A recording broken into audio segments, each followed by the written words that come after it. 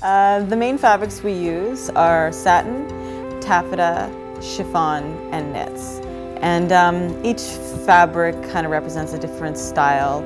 Uh, the satin um, would be more, uh, a little more casual, and so would the knit. Both the taffeta and the chiffon, like a taffeta dress would be for a strapless dress with, you know, um, you know, we use a lot of rosettes in it or um, ruffles around the waist.